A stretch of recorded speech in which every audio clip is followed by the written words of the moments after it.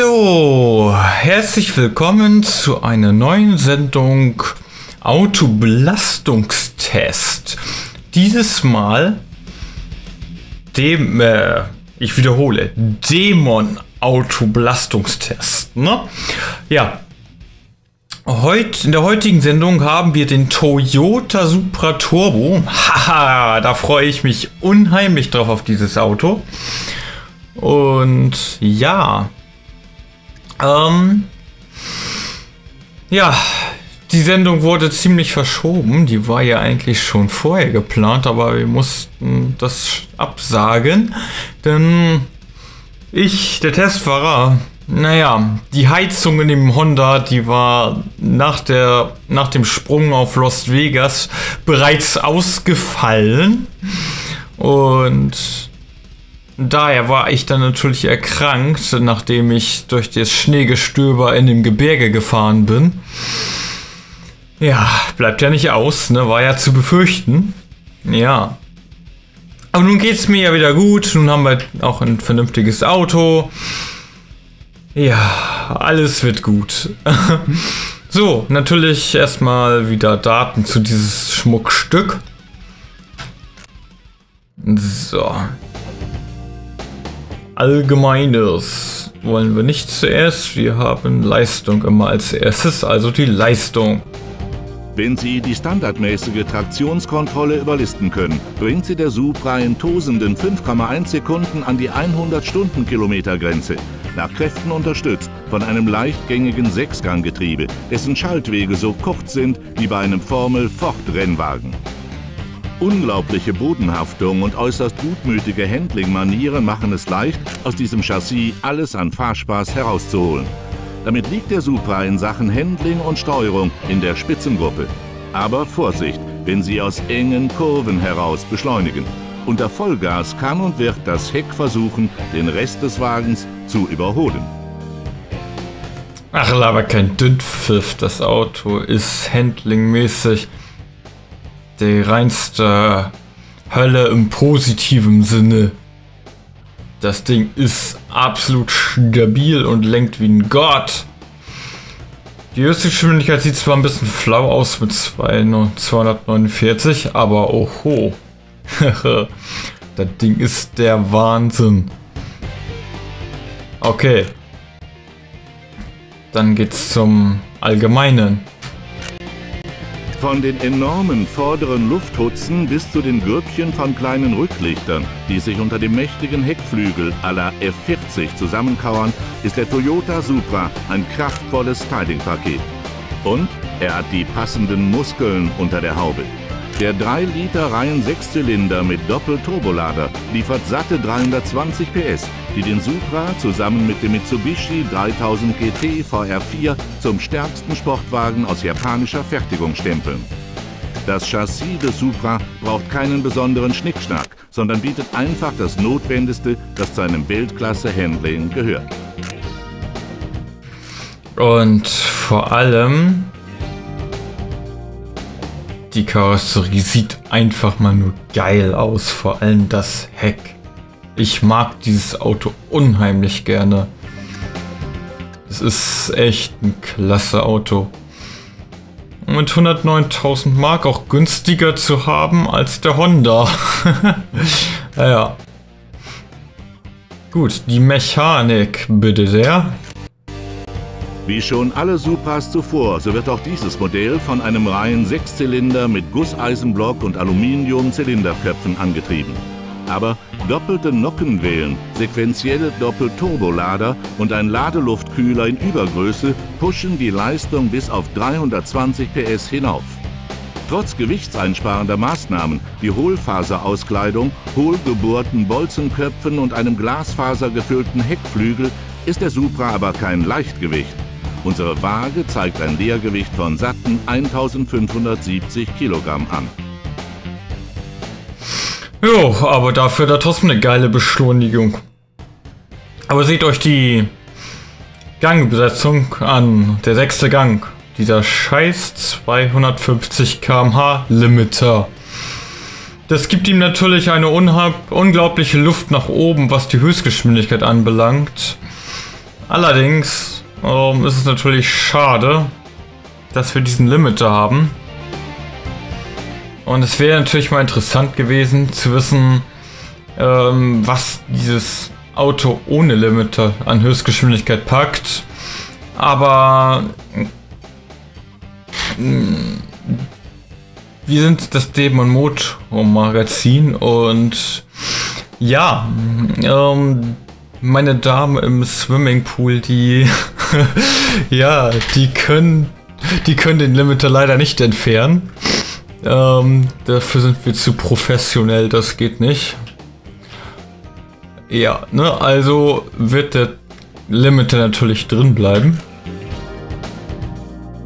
Denn so weit geschult sind die noch nicht. Also, das ist, das, ja, das, das sind äh, meine Mechaniker, ne, meine Damen im Swimmingpool, die, die können das nicht. Das, das müsst ihr verstehen, die müssen da erstmal noch, ja, das sind, das, dafür sind erweiterte Kenntnisse erforderlich. Na. Ja. Müsst. Ich, ich bedanke mich auf jeden Fall für euer Verständnis dazu. So, ähm, ja. Ist nämlich ein bisschen kompliziertere Geschichte. Na, da muss man nämlich mehr tun, als das Auto zu fahren zu können. ja. Okay, Geschichte. Die Wurzeln des Supra reichen bis ins Jahr 1971 zurück, als Toyota ihr neues ökonomisches Vierzylinder-Sportcoupé vorstellte, die Celica. Acht Jahre nach der Premiere entschloss man sich, eine stärkere Version mit 2,6 Liter Reihen Sechszylinder herauszubringen, einer Weiterentwicklung des Cressida-Motors. Das neue Modell, Supra getauft, gab Toyota bessere Marktchancen gegen andere ökonomisch ausgerichtete Sportwagen wie Mazdas RX-7 oder den Nissan 280 ZX. Im Verlaufe der nächsten beiden Generationen durchlief der Supra einige recht konservative Design- und Technikänderungen. Erst 1993 stellte Toyota ein komplett neu durchgestyltes Modell vor. Die Leistungsdaten des neuen Supra katapultierten ihn an die Spitze der japanischen Sportwagenelite und in einen heißen Wettbewerb gegen das Beste, was der europäische und amerikanische Markt zu bieten hatte. Ja. Und der Toyota Supra Turbo ist auch wirklich das Auto, was ich von Toyota wirklich hübsch finde. Ansonsten bin ich ja eigentlich nicht so sehr der Toyota-Fan, muss ich ganz ehrlich sagen. Aber der Supra, der ist schon wirklich verdammt nice. Vor allem das Heck und der Innenraum. Ich hatte ja mal einen Supra bei unserem Expert gesehen. In dunkelblau. Und... Ah, Sagen wir es mal so, ich wäre am liebsten eingestiegen und losgefahren. Vor allem der Innenraum, der wirkt in diesem Spiel bei weitem nicht so gut, wie er in echt aussieht. Also wirklich hammergeil. Und das Heck alleine auch, ne? Hammergeiles Auto, wirklich. Also richtig, richtig gut. Jo. Okay, das Video.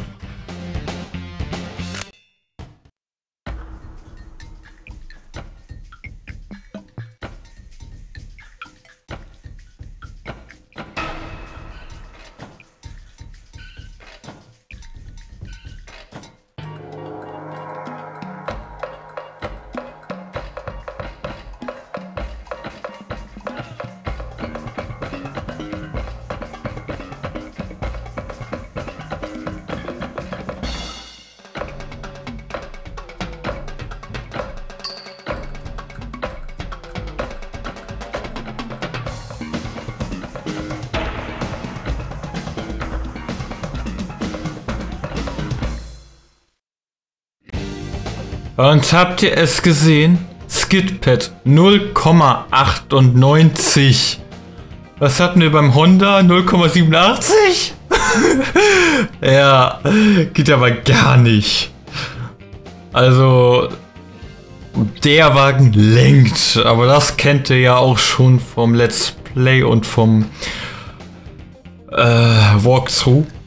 Dass das Auto lenken tut, denn den, den sind wir da schon ja gefahren. Der ist ja nichts mehr Neues für euch. Aber natürlich muss dieser Wagen auch durch den Belastungstest, ist ja ganz klar.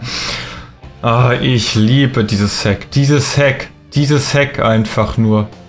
Es ist einfach nur geil. Ja, das Auto ist einfach nur geil. Okay, genug geschwärmt. Zurück zum Hauptmenü. Ja. Und dann geht es auch mit der Autumn Valley los, aber da müssen wir mal eben... Dieser Rennkurs unterscheidet sich ein wenig von den... Auf das umstellen. Jo. Das war's mit den Schaufenstern und dann geht's gleich in Kürze los. So. Dann kommen wir zur ersten Strecke, dem Racing. Dem Racing-Test. Und das Ganze äh, mit genau so war das ja immer.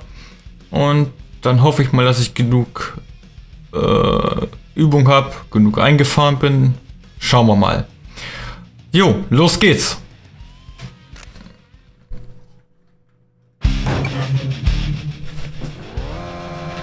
Ja, wie er innen aussieht, kennt ihr ja schon. Da wollen wir mal das Racing hier machen. Und Leute, dieses Auto ist ein Genuss, macht Platz, Porsche. Ich darf doch mal, ne? So.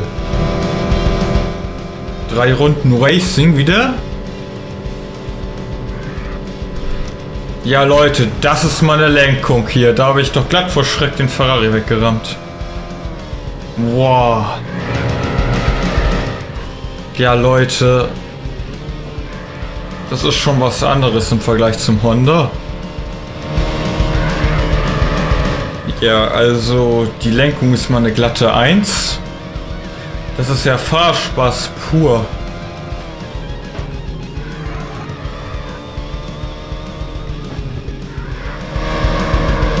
Boah, Leute, Jungs. Das Auto ist eine Wucht. Das gibt man glattes sehr gut. Mal gucken. Wow, wow, wow, wow, wow, wow. Der schafft das Ding doch glatt mit Vollgas. Wow, shit. Ich habe zu hart äh, Gas weggenommen. Da hätte ich viel schneller rumfahren können. Leute, ist das Ding geil. Wow. Und seht euch das an, wie es wieder rumkommt. Oh, scheiße, den habe ich nicht gut gemacht. Das machen wir in der nächsten Runde besser. Da habe ich, da habe ich, das war lag nicht am Auto, das lag an mir. Das war mein Fail. Uiuiui. Wie man hier um die Kurven preschen kann. Also den Test meistert er mit Bravour hier. Ein absolutes sehr gut. Seht euch das an, was man mit diesem Auto für Scheiße anstellen kann. Guckt euch das an, da hat der Ferrari Scheiße gebaut. Damit hat er da das Lenkrad gebissen weil so viel Performance wie aus diesem Auto herauszuholen ist. Der ins Lenkrad gebissen vor Schreck, wie gut ich die Kurve gekriegt habe. Ja, das ist nachvollziehbar, ne? Ich weiß, ich weiß nicht, ob das... Aber ich glaube, Türkis war der Ferrari. Ja, der hat vor Schreck ins Lenkrad gebissen. Das passiert schon mal, wenn man so eine gute Leistung hier ablegt, ja, mit diesem Auto. Jo, ne? Besser als der Lamborghini und so. Vor allem, das ist so geil, dieser Fahrspaß. Leute. Ihr müsst euch das geben. Vor allem, wie geil das ist. Der, der Wagen, der äh, zum Abten hier sogar springt und zum Abheben neigt und... Boah. Ach, fuck, ich versau die Kurve immer. Na gut. Aber ich bin auch ganz perplex mit dem Handling hier. Das ist ja gierig geil. Wow. Das ist Fahrspaß pur. What the fuck? What the fuck? Da liegt, da liegt ein Ferrari. Da liegt ein Ferrari am Straßenrad, auf dem Dach. Der hat aber wirklich ins Lenkrad gebissen. Okay, wir wissen Bescheid, es war der Ferrari. Der hat ins Lenkrad gebissen. Oder war das der. Ach nee, das war bestimmt noch der Crash, äh, wo ich ihn weggerammt habe in der ersten Runde. ja, bei Custom-Strecken bleiben die ja liegen teilweise, wenn man sie crasht. Stimmt, ja, da war ja aus. Die bleiben bei Custom-Strecken liegen, wenn man sie crasht. Und ja, jetzt wissen wir, wir haben den Fahrer mit unserem Crash in der ersten Runde aufs Dach gelegt. Ja, gut, shit happens, ne? Mein Supra hat eben halt äh, Platz haben wollen. Mit seinem dicken, fetten Arsch, ne? Naja, da passieren die Unfälle schon mal. Hier ist ein, hier ist ein, hier ist ein Praktikant im Supra, den müssen wir mal überholen. Und wegrammen natürlich, habe ich auch erfolgreich gerade gemacht. Ja, eigentlich schade um die Supra, aber gut, den, der Supra ist ja eh schon am Ende, weil, weil der Praktikant nicht. Oh, der will abheben, man merkt das richtig. Nee, aber diese Schrägkurve, wenn man die richtig Vollgas schon schnell nimmt, dann. Äh, Achso, das haben wir die auch mal gut genommen. So. Alter, das ist ein mega gierig. Boah, wie man hier noch mit 160 rumkommt. Der Honda kann da nur von träumen. Aber gut, wir haben das Rennen gewonnen. Aber man mag gar nicht aufhören, weil der Fahrspaß einfach so gierig ist. Aber gut, wir halten hier an. So. Und dann gehen wir mal aus dem Rennen raus. Boah. Leute. Das ist der pure Adrenalin. Das ist der pure Wahnsinn. Wow. Das ist einfach nur. Ah. Oh. Stehen die Rundzeiten jetzt zufällig? Ja, tun sie. Wow. Wow, Leute. Das ist der pure Adrenalin-Kick. Das ist der pure Wahnsinn. Wow. Also ich denke mal, da hätten wir mit der wenn wir diese nicht versauen mit der Vollgas rumfahren. Ich denke, da ist locker eine 1, weiß nicht, 1,32, wenn nicht sogar 1,30 drin. Wow, also das war einfach nur geil. Wow, Leute, dieser Adrenalinkick, dieses, vor allem wenn diese Schrägkurve kommt, diese Linkskurve, das, da kann man Tatsache mit Vollgas rum und das Geniale ist, dass der Wagen am liebsten ausbrechen möchte, aber sich dennoch irgendwie so fängt. Also der hält sich stabil, aber will aus, aber, er ist, ist leicht instabil. Das ist total geil. Das Fahrgefühl total geil. Das ist, das ist, das ist, das ist, das ist, also das ist wirklich ein geiler Fahrspaß. Das ist so geil, genial. Eine Schrägkurve, also der Fahrspaß ist enorm. Also dieses Auto hat in diesem Test ein sehr gut in Fahrspaß und in Handling abgeliefert. Bravour! Also sowas von genial, sag ich euch. Also, also den Renntest hat er wirklich schon mal sehr, sehr gut abgeschlossen und ich kann euch in dieser, also da kann ich euch das Auto schon mal wärmstens empfehlen. Die 0,98G Wendekreis merkt man total. Und es ist einfach nur ein purer Genuss. Ich bin, ich bin den Wagen ja teilweise sogar zu schlecht gefahren. Denn man könnte dann auch nach der Schrägkurve, da muss man gar nicht so viel bremsen, man könnte noch mehr ans Limit gehen. Aber wenn man dann in diese Rechtskurve reinfährt, dann hat man auch das Gefühl, dass der Wagen springen will. Der will, also man, man spürt das Auto auch regelrecht. Also wirklich super geiles Auto. Das muss man wirklich sagen. Also das Auto ist echt geil. Wahnsinns geiles Auto, auf alle Fälle. Ja, damit haben wir den ersten Test mit diesem Auto ja schon abgeschlossen. Ich bedanke mich fürs Zuschauen. Schaltet beim nächsten Mal wieder ein, wenn es heißt Rusty Springs, die nächste Testdisziplin für diesen Sud für den Supra Turbo. Und dann werden wir entdecken, ob der Wagen auch eine stabile Straßenlage behalten kann, wenn es denn mal an die Sprünge rangeht. Wie stabil die Achsen sind, ne? Ob die Achsen das mitmachen, wenn ihr vom, vom, vom abgesenkten Bordstein runterfahrt, ne? Nicht, dass sie dann gebrochen ist, ne? Das werden wir dann beim nächsten Mal erfahren. Nein, ich will keinen Wettbewerb machen, ich will ein Zeitfahren machen. Das werdet ihr dann beim nächsten Mal erfahren, wenn es wieder heißt Dämon äh, Autobelastungstest Motormagazin. Bis dann. Bye bye.